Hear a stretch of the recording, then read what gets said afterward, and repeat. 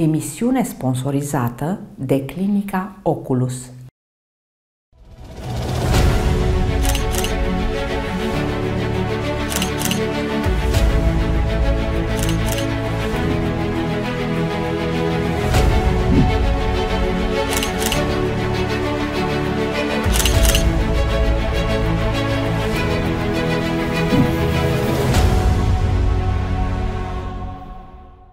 Există foarte multă lume care se confruntă cu miopia și care trebuie să poarte ochelari. Însă astăzi miopia poate fi corectată în cadrul unei operații cu laser, așa că există posibilitatea de a scăpa de ochelari. Aflăm în ce constă această operație și cui îi se recomandă, dar Înainte de toate, haideți să aflăm ce este miopia de la doctor Cristian Moraru, medic primar, oftalmolog.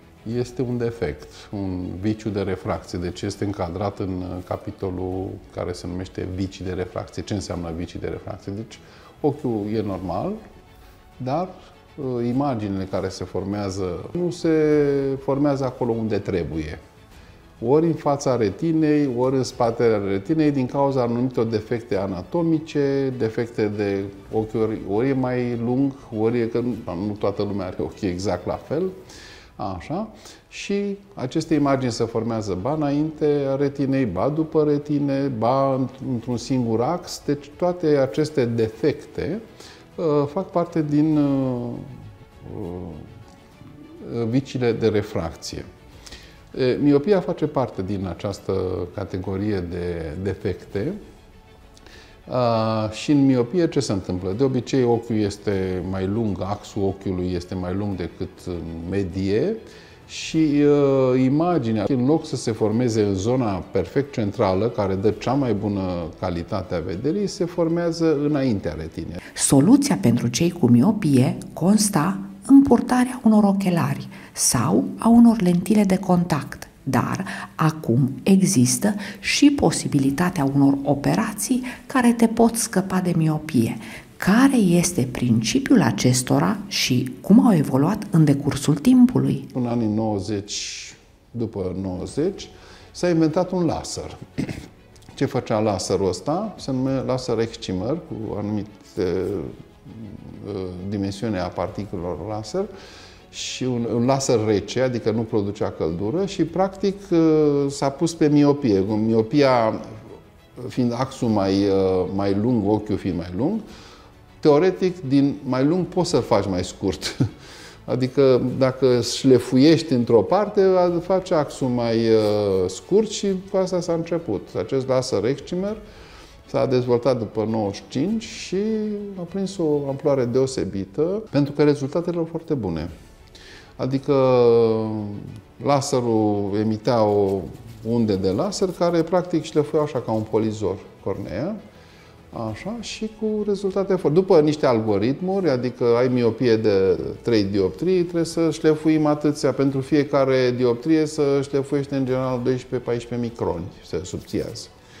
Acum au mai evoluat algoritmurile, toate, uh, cum să spun, nu e chiar așa simplu, pentru că ideea este să obținem un rezultat cât mai bun cu o subțiere cât mai puțină a corneei. S-a văzut că dacă această șlefuire are loc în interiorul corneii, adică nu pe suprafața ei, cum ajungem în interior. Și atunci s-a inventat să se decupeze o prima parte a corneei, cu un, la început cu un aparat mecanic, care se numea microcheratom, se tăia efectiv electric, mecanic, o, o felie, un căpăcel foarte subțire. La început era, nu era așa subțire, cam de 160 de microni. Da. Se dădea căpăcelul la o parte și se punea laser și până spunea căpăcelul la loc. Asta se numește LASIK. Și LASIK-ul a persistat, adică s-a persistat și s-a dezvoltat. Dar astăzi există și alte lasere care efectuează ele acele tăieturi fine de care este nevoie, cu o precizie foarte mare. S-a trecut uh, la uh, efectuarea acestui căpăcel, nu cu lama, că e o lamă specială, s-a trecut la efectuarea căpăcelului cu un laser. Și acesta s-a inventat cam în 2000, așa, și se numește femto laser.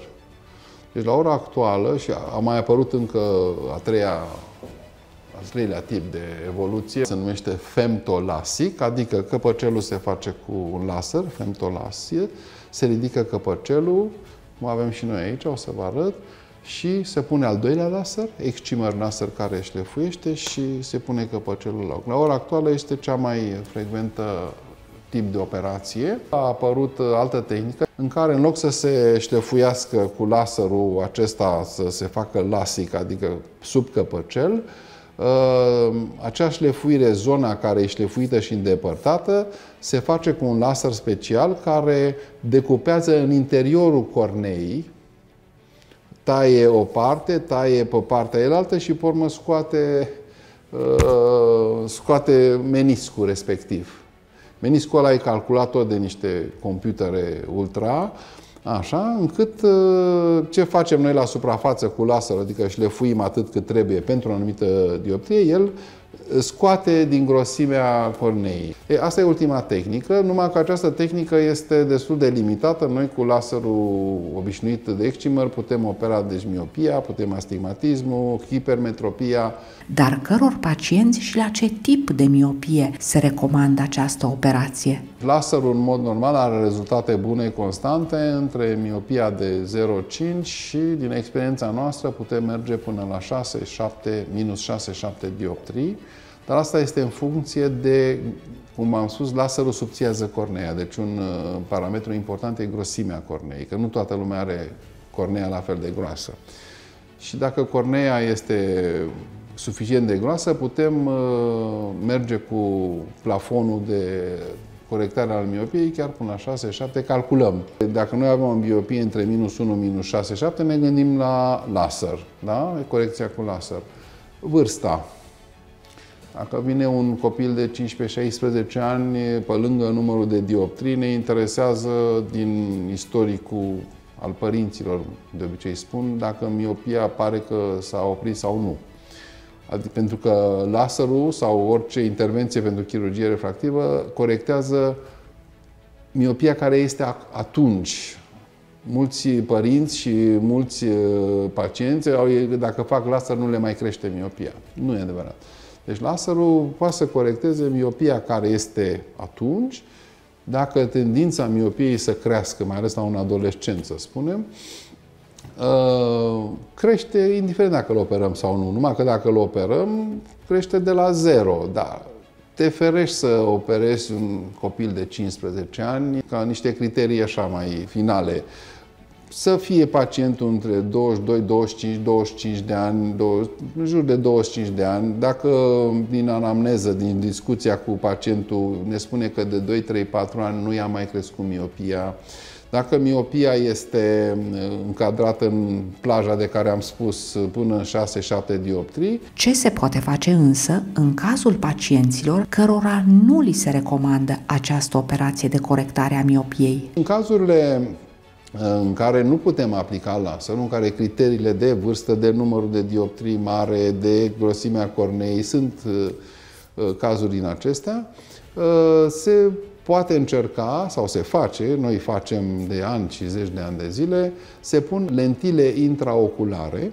adică peste lentila ochiului, peste cristalin, așa, cu efect de lupă, de, de lupă negativă, adică deci sunt niște lentile speciale. În lume sunt două tipuri de lentile care se uh, uh, folosesc. Unele se pun în fața pupilei. Deci e ca un ochelar băgat în ochi. Tot pe baza de măsurători, unor măsurători, uh, niște algoritmi, niște tabele, calculăm și punem... Uh, dar la fel, aceste soluții sunt pentru uh, miopia care este atunci. Introducerea unei lentile V-am spus că sunt de două feluri. Noi utilizăm lentila care se pune în fața pupilei, așa, dar există și lentile cu același efect care se spun în spatele pupilei. Sunt două tipuri de... Noi suntem specializați, avem experiență foarte mare uh, la lentila pusă în pupilă în față. Da? Rezultate foarte bune. În cazul celor cu miopie mare, ce se recomandă? La tineri se aplică această uh, te- tehnică de a introduce lentilele numai că acești tineri au dioptriile prea mari ca să fie corectate cu laserul și atunci apelăm la asta. Dar sunt și oameni trecuți de 40, 45, care pe un fond de miopie uh, au purtat ochelari toată viața și s-au gândit ei să nu mai poarte. E, la acești pacienți, cea mai bună metodă, trecuți de 45 chiar spre 50 de ani, cea mai bună metodă de a schimba dioptriile este prin schimbarea cristalinului.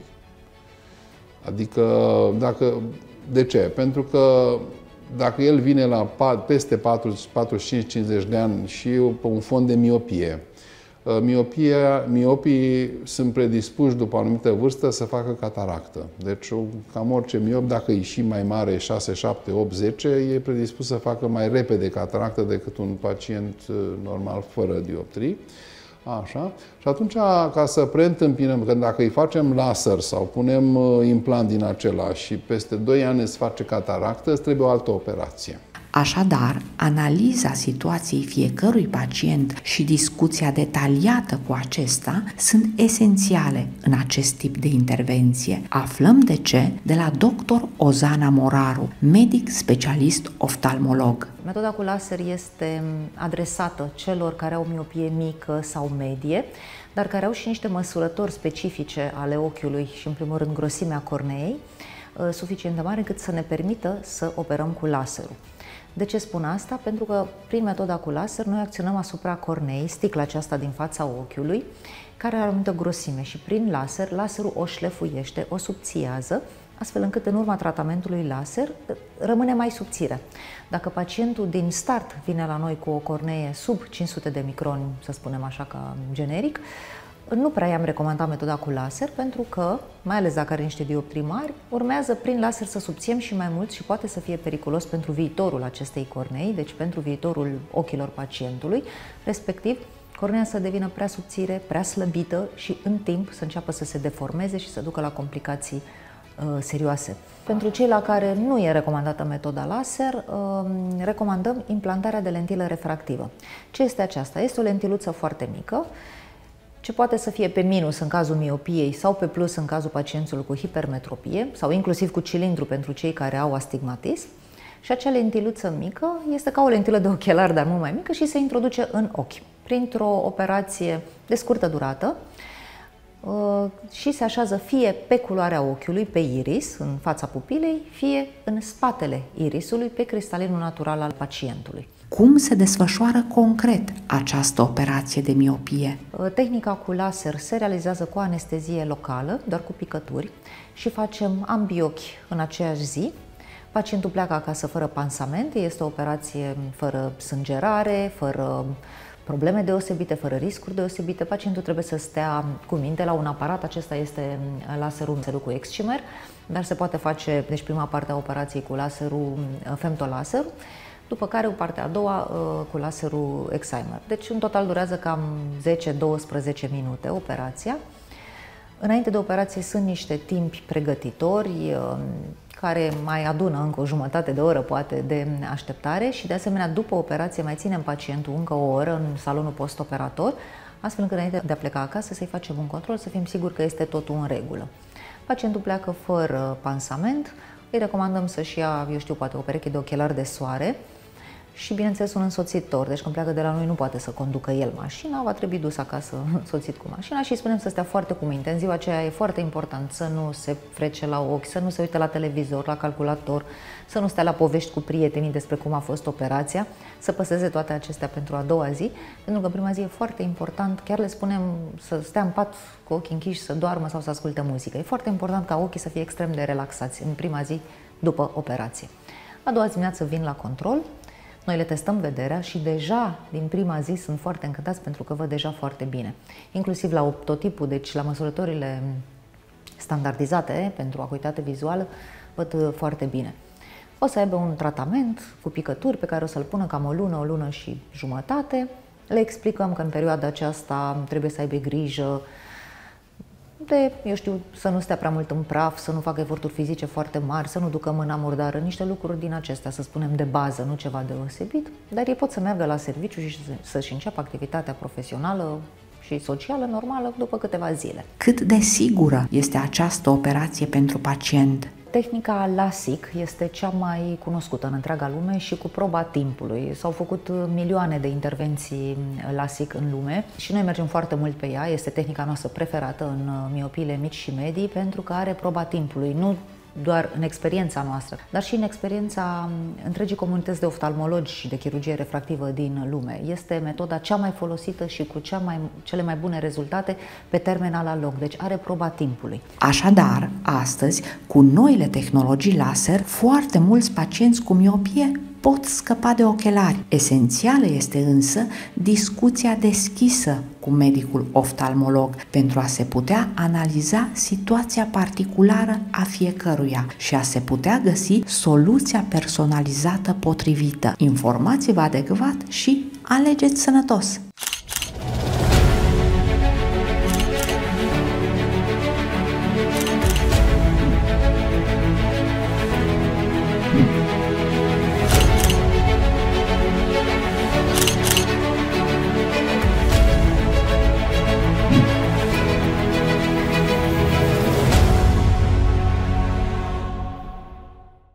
Emisiune sponsorizată de clinica Oculus